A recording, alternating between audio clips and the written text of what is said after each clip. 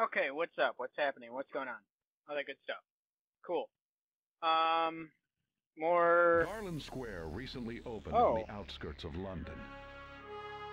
Within the complex, there are department stores, a hotel, a park, and an office building. It's a complete urban complex. However, the complex has been taken over by a terrorist group called the URDA, led by Derek. Lynch. Not David Lynch, obviously. Our mission is to liberate Garland Square and suppress the URDA. This is a dangerous operation. So keep your guard up at all times. Roger.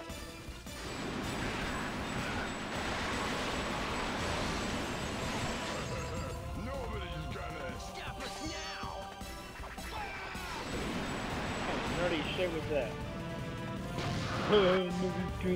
It now! What the fuck? I don't know, that was kind of retarded. I'm, I apologize. Your own foolish mistakes. Ugh. So, Time crisis. Crisis zone. unfortunately, I'm probably gonna have to chop that uh entire for well mute the entire first part. Unfortunately, and something I don't know. Trying to remember what happened. Time crisis. Crisis zone. Okay. Guess I kind of overlooked all that stuff. How did I turn this down? Well, I'm gonna go ahead and just pull up information about this. Um, actually, I got this game off of some guy on eBay, uh, nostalgia.etc., etc. Um, I could have probably got it for a better deal elsewhere or from someone else if I would have waited but I didn't really want to wait. Um, so you know, I just went ahead and went for it. Now, let's see. Uh, as soon as this information pulls up, I'm gonna go ahead and start reading about this Zone select. background information and such. Uh, Garland Park.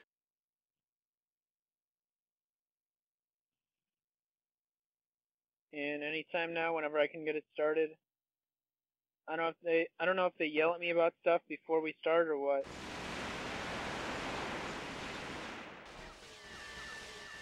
No? Okay, anyway, let's go then. Uh, developed by Namco, published by Namco. Um, it's part of the Time Crisis series. It was on arcade and PlayStation 2. Um, and let's see, it was released on PlayStation 2 in North America on October 19, 2004. I'm finding this kind of unfortunate, like how cloudy everything gets when I'm shooting. And overall, otherwise than that, it's like kind of fun. I wish it just didn't like take over the entire screen doing its flash effect thing. So I was like noticing that as I was editing it, 'cause I totally forgot about it while I was playing the damn game. Um, I don't really even remember that doing that when I was recording, but I don't know. It's been a while anyway. Probably was doing that when I was recording. I just find it kind of unfortunate how it makes the entire screen cloudy while it's shooting, and that's kind of like not cool. I don't remember doing that in Time Crisis 3. So uh, anyway, single player, or multiplayer. It was originally on the arcade system, Namco System Super 30, 23. Uh, in, you know, raster or standard resolution horizontal orientation. Uh, Crisis Zone is a spin-off of the popular Time Crisis arcade shooters. Uh, I don't want to get into the plot. Might have spoilers I've not encountered yet. Background. In Crisis Zone, the player is part of the elite anti-terrorist troopers of the Special Tactical Force, STF, called, called uh, McGarren. The game uses the same pedal system to reload and hide, however the player uses a machine gun, a customized Steyr Mannlicher or Manlicker TMP with a sight laser and a capacity of 40 rounds. Players take cover behind a portable ballistic shield that is strapped to the character's left arm. Price is known as the first time Crisis game day to date to allow the player to select between three levels to play in any order. Upon completion of all three of them, the player can then play the final level to beat the game. Oh. A PlayStation 2 remake of the game was released in 2004 in the UK and US with smoother polygon textures, higher difficulty, and an additional mission taking place six months after the Crisis Zone arcade mode. The PS2 port is compatible with the GunCon 2 Light Gun, and is available with an unusual two-player cooperative gameplay mode called Two-Gun Mode. Action. By allowing two players to play simultaneously on a single-player mode without the use of split screen or weapon switching system, similar to Time Crisis 3, with some changes.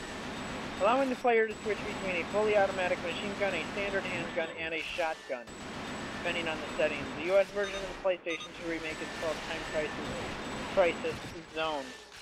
Um, that's really all there is to that as far as its information goes. So it's fair, it's interesting enough, I suppose. Um, it's pretty fun too. I'm, I've, I've had fun playing it, and I would really like to play the new Time Crisis game on, uh, what is it, on PlayStation 3. I'll get around to it. I hear it's rather affordable as far as that goes. So, I don't know, we'll see how that goes and all that good stuff. Um, otherwise, this is pretty cool. I bet I'm having fun playing it. You know, I was actually out shopping the other, well, just looking around, uh, seeing if I could find any good deals on games, but I didn't. However, some thrift shops, I saw them, they had some stupid cheap, uh, uh, tube displays for like 30, 35 bucks, and they were decent size, too. I don't know how crappy or good they were. They just really sounded more like generic um, brands of televisions anyway, Apex and Dynex, if I remember. And I know Dynex is cheap and junk as shit. I don't know how well they worked either, um, but um, I'll have to keep it in mind should I have the opportunity that, you know, I have to look for that. Although I had to definitely find someone to help me carry that shit. Oh, and apparently my mic is yelling at me that it's about to die. Which is kind of strange because um, between videos all evening I've been hooking it up so it could charge. You know, in between videos, well, loads up or buffers or whatever. So ho hopefully, and I don't see why it shouldn't, it should be able to last for the next five minutes. Even though it's yelling at me and beeping at me about how I need a recharge. Clear secure. Action. I think it is. I'm pretty sure it is the mic that's beeping. I think it's the it's the game. I don't know. It could be the game. I can't remember if it made noises like that, but I'm pretty sure it's the mic. And I can't really tell because I also have the sound turned down. To secure the center bridge. Because I forgot to change the audio of the game, um, I can go work on it. So I generally change it, you know, so it's already mixed, and I just gotta, you know, change, or, you know, lay down the audio or commentary or whatever. So let's see. Come here, you helicopter. Stop floating around, doing stuff. Actually, I wouldn't mind having a pedal for this. That would be pretty cool. I didn't know you. Well, I knew you could get a pedal. I've seen them, but um, actually, that would probably make things a little easier. A little easier. I can't say to like take away the the issue or whatever, but it could make things a little easier, I suppose. Instead of trying to, you know, mess with my hands on the gun, I could just stomp the pedal or, you know, not stomp it, but you know. I could just interact with it that way. Although, although I don't know if it requires to hook it up USB or whatever. Probably does require to hook it up USB. So, I don't know. Let's see. Maybe I'll look into getting a hold of one eventually, maybe. I don't know, though. Let's see, though. Yeah, actually, like I've been saying, I've been looking for, um, to complete all the shooters, light gun shooters on PlayStation 2. Um, so far, I only have Time Crisis 2, 3, and this one, Crisis Zone, as well as recently Endgame that I have not yet done a play of yet.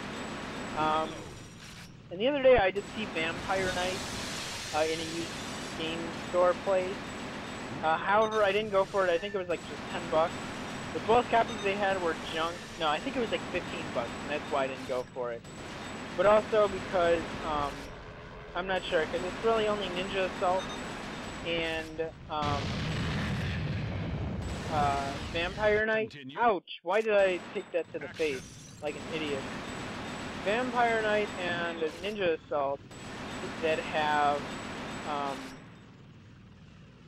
a Gun-Con 2 with them. Because, ooh. I think I could shoot those missiles too. But I gotta be careful with that anyway, because I still might take some hits and I don't need that.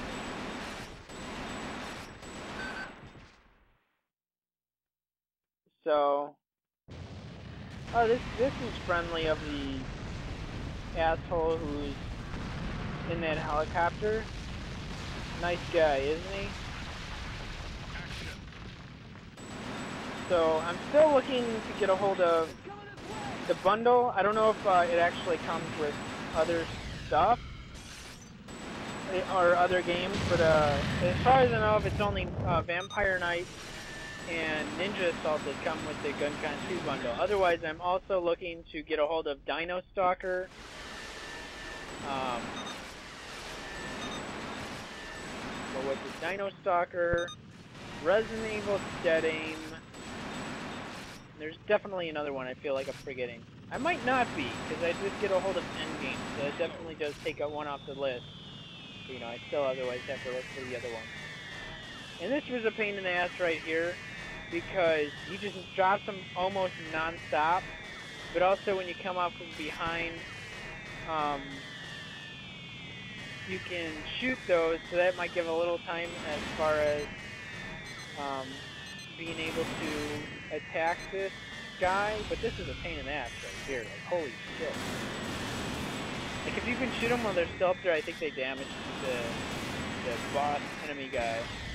Ooh, and I take those to the face as well, which is not good for my health at all. Oh, that took long enough. Shit, that was that wasn't cool at all.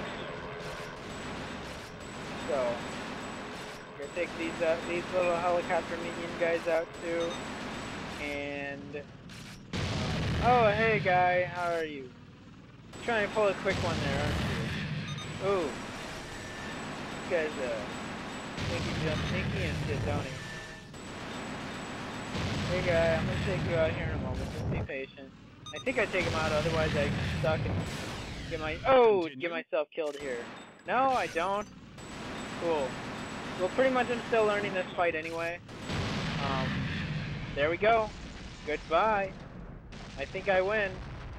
What do you think? Check that out. Peace out, motherfucker. Cool. Alright, so that's done, did for that thing and stuff. So that zone is clear. And I'll be getting on to other good stuff here in a moment or something like that.